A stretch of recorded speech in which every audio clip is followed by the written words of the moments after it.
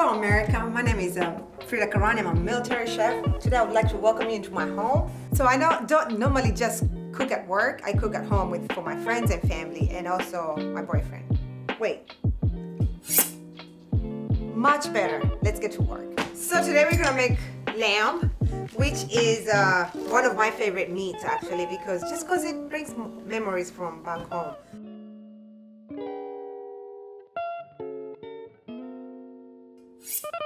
うん。